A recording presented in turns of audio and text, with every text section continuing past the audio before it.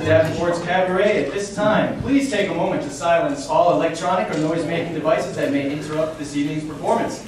Also, the taking of photographs and the unauthorized use of recording equipment, either audio or visual, is strictly prohibited. Thank you very much and enjoy the show. Ladies and gentlemen, Davenport's is proud to present Hooray for Hollywood!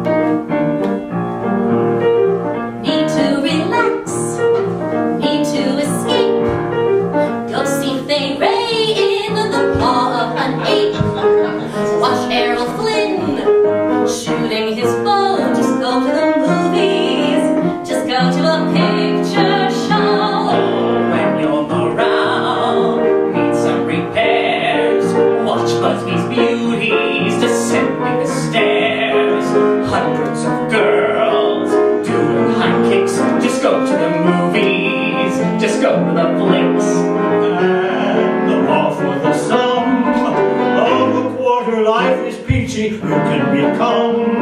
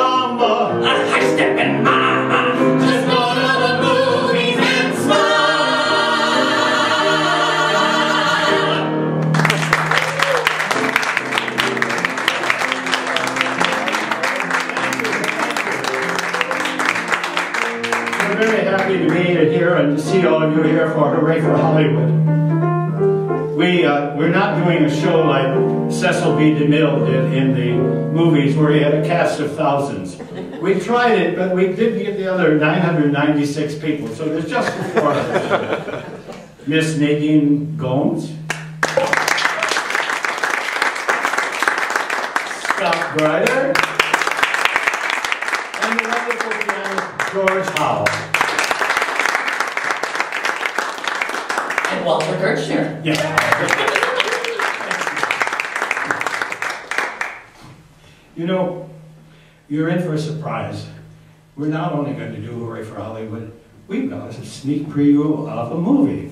The movie was uh, to be shown maybe 45, 40 years ago, and there was a lot of trouble with the uh, director and the writer of the book and, this, and the studio. The movie was never premiered, we've got permission, we hope, they tell us we have permission, to show the movie tonight. It's from a famous novel you've probably read. Now, the writer only wrote books about water, oceans and lakes and streams and so on.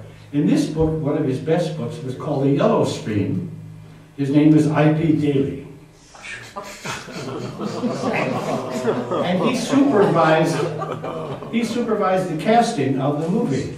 And he wanted all people that were related to that theme. So, with the studio's help, he got these people to go in the film.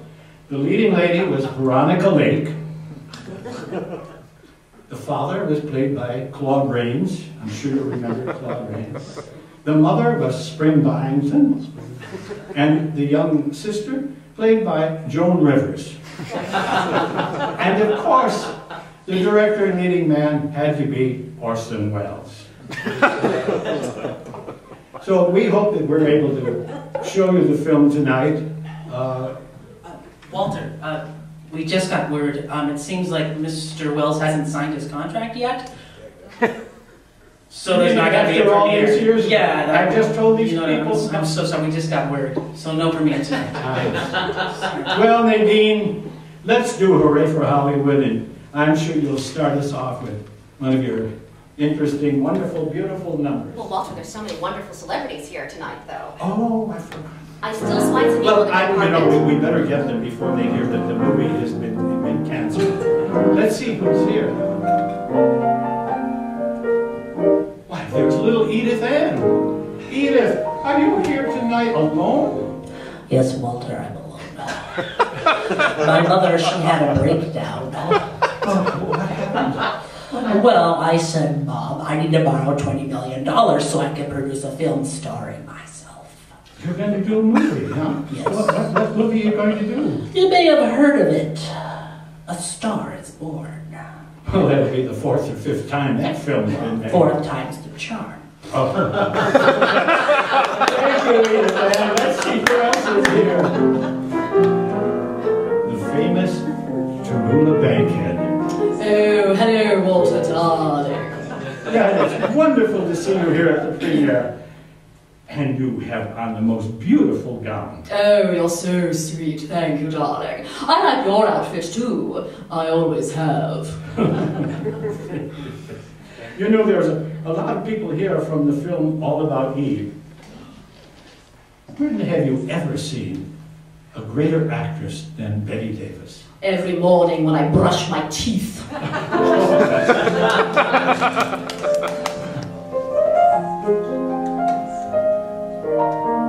Here's someone that doesn't come to premieres usually. Katharine Hepburn. Hello, Walter. Miss Hepburn, this is an honor to have you here. of course it is. I see there's a new biography of you out, and it's written, and it says that you visited in Chicago some time ago at the, at the Ambassador East with Howard Hughes. That's it. It's true, Walter. I had some of the best ice cream of my life in Chicago when I was you. Well, you're a star, there's no doubt about that. Tell me, did you hear that our premiere has been canceled? Of course I did, you old poop, and that's why I told Spencer to keep the engine running. Oh. Always a star. Now Miss, Miss Gomes is going to bring us back to an old time in, in the movies. Okay.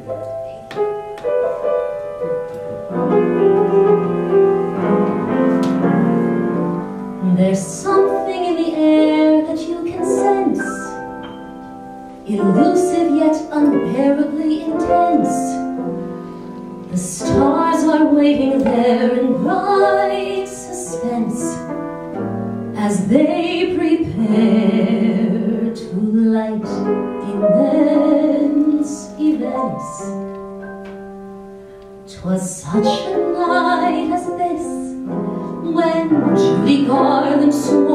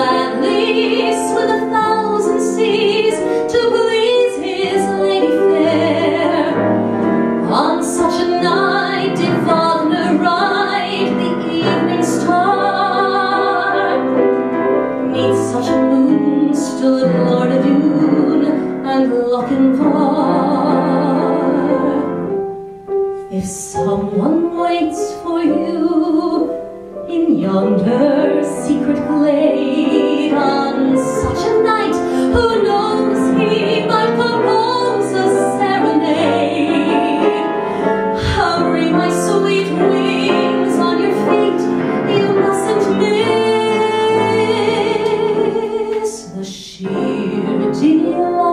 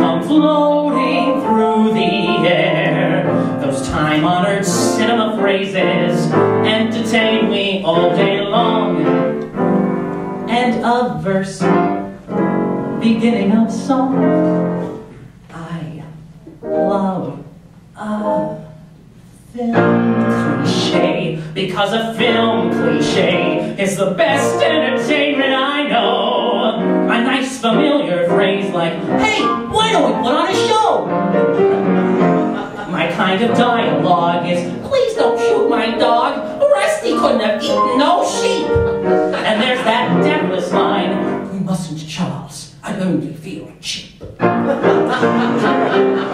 I love the faithless wife who takes her lover's life, but she's glad, glad, glad, glad. or Colonel Fotheringay who starts to shout one day that those drones are driving me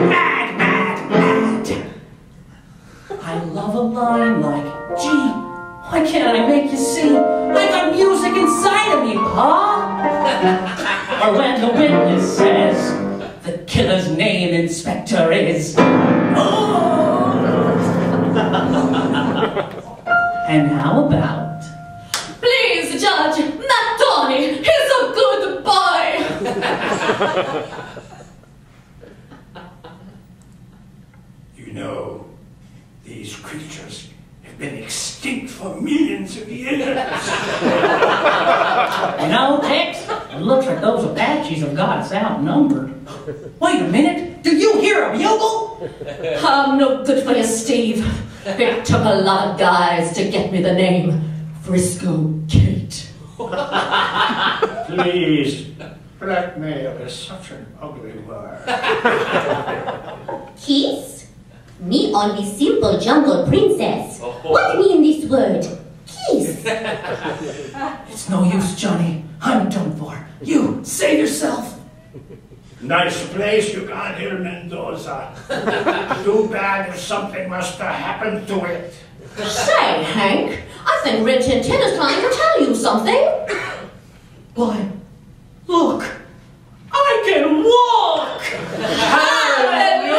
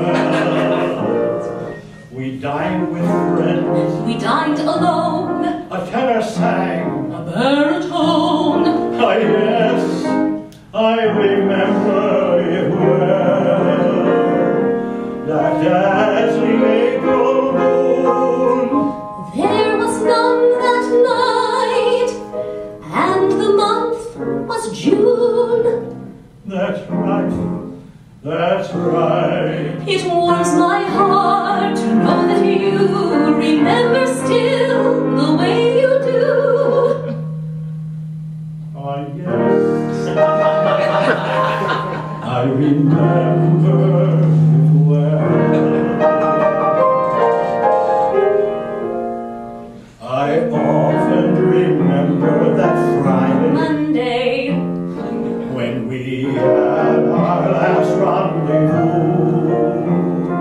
And somehow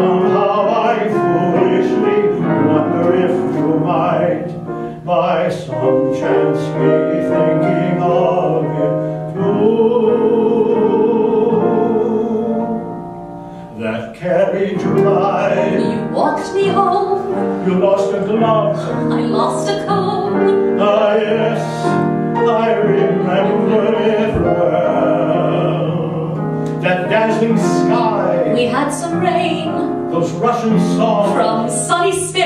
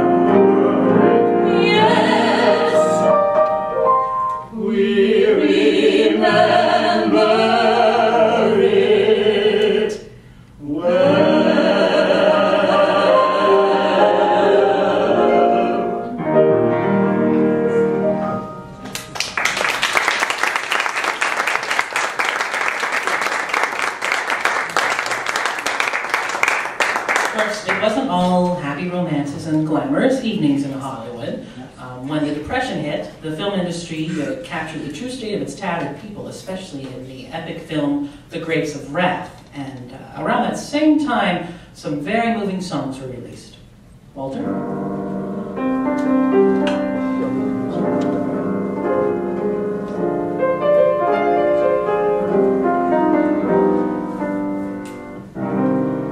They used to tell me I was living a dream. And so I followed When there was earth to plow and guns to bear, I was always there, right there on the job. They used to tell me I was living a dream with peace and glory ahead.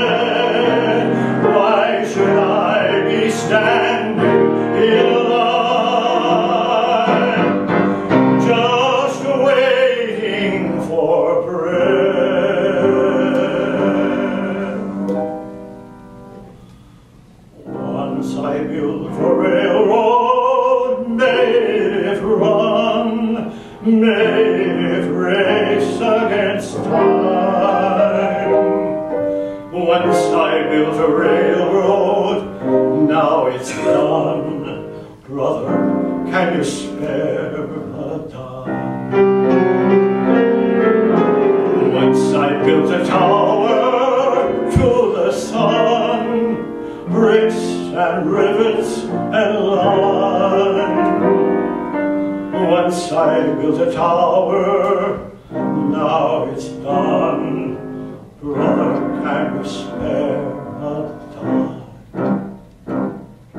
Once in khaki suits, gee, we look swell, full of that Yankee doodly doll. Half a million boots went slogging through hell. I was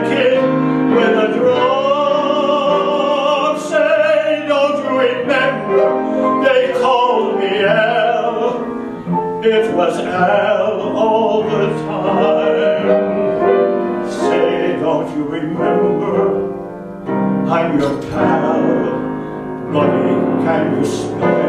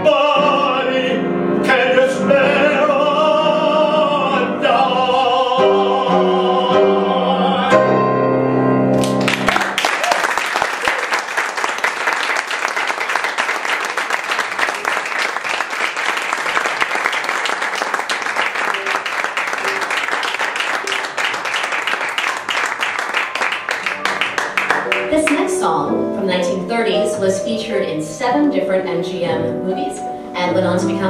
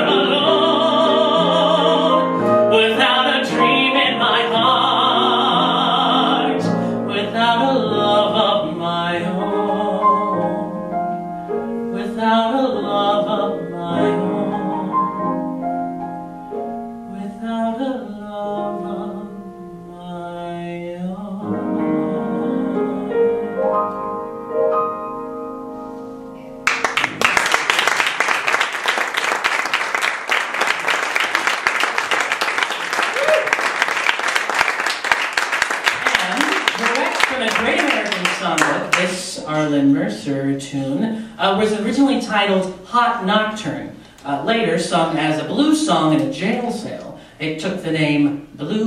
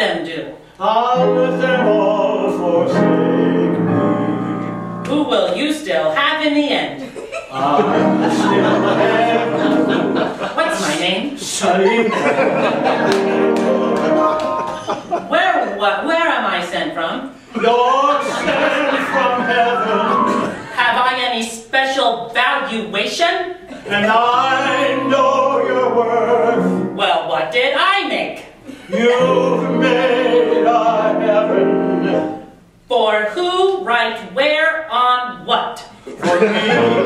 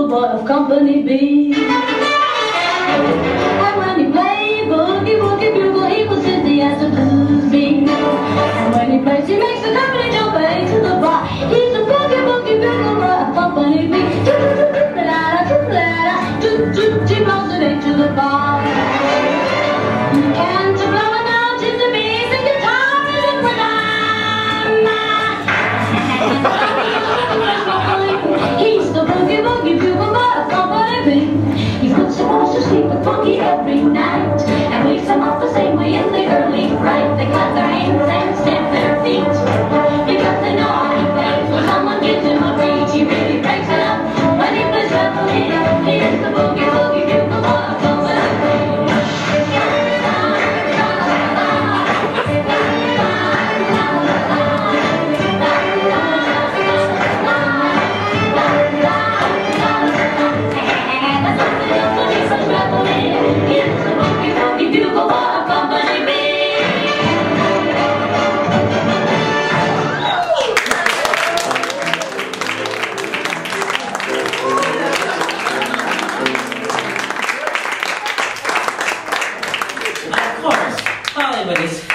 for its charming romantic scenes. Um, this drawing room comedy takes us to a stylish English flat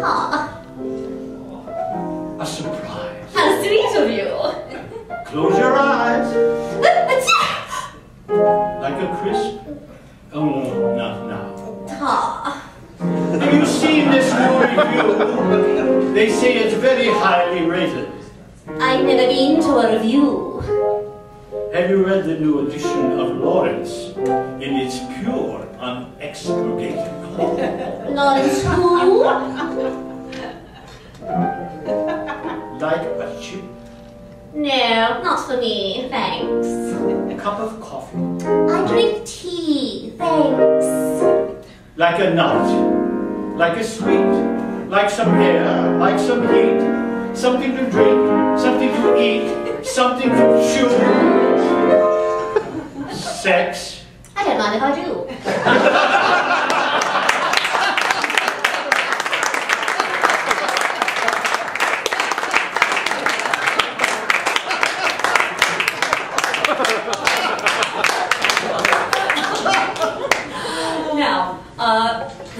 people go to the movies for are those big blockbuster budgets. Hollywood needs their uh, big stars, but more than that, Hollywood needs something else. Money. Money. Money makes the world go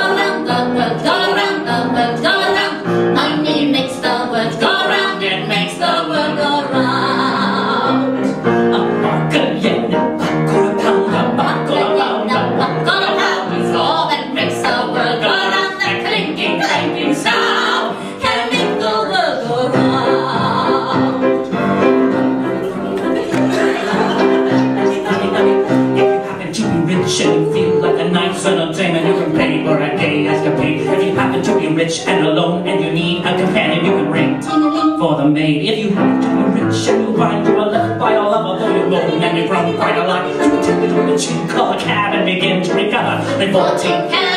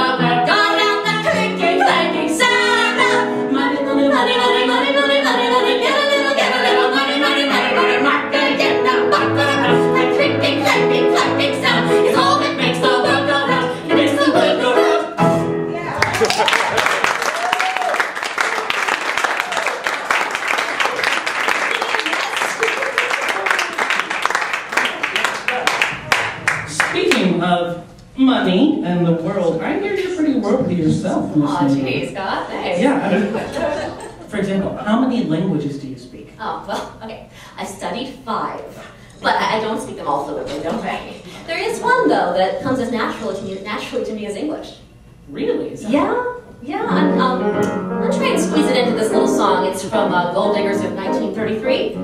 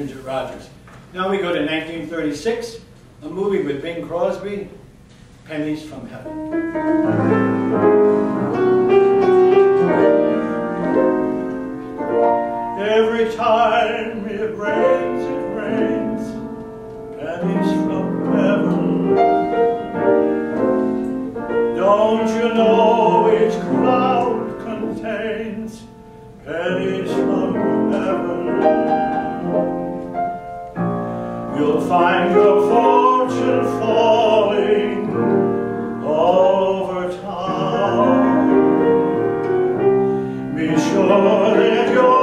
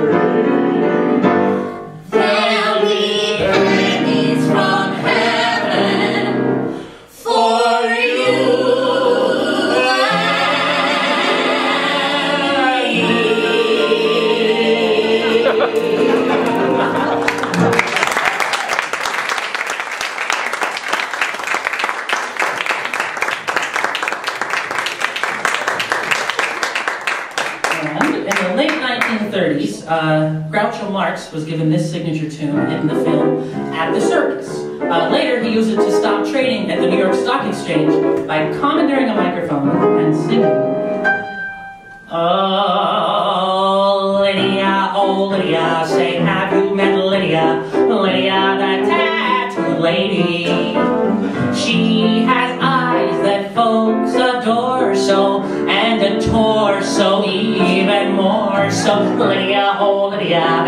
Encyclopedia. Oh, Lydia, the queen of tattoo. On her back is the Battle of Waterloo. Beside it, the wreck of the Hesperus too. And proudly above waves the red, white, and blue.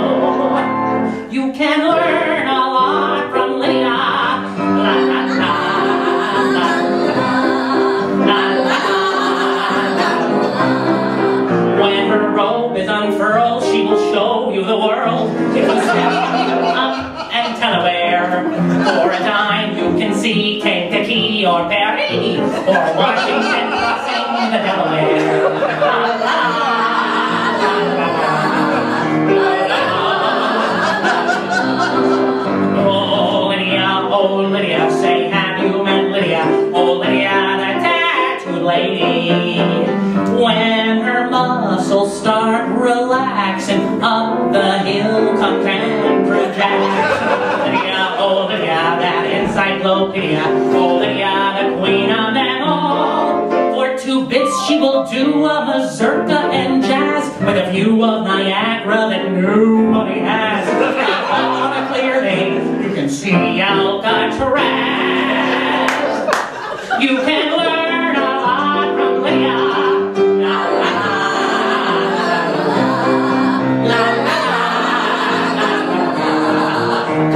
see Buffalo Bill with his lasso. Just a little classic by Mendel, Picasso. Here comes up to Smalling exploring the Amazon. Here's Godiva, but with her pajamas on. La la la la la la la la la. Here's Grover Wayland unveiling the Trilon. Over on the west coast we have Treasure Island. Here's Nijinsky the. Her social security number.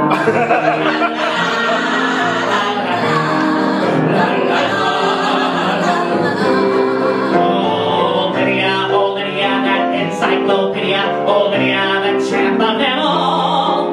She once swept an admiral clear off his feet.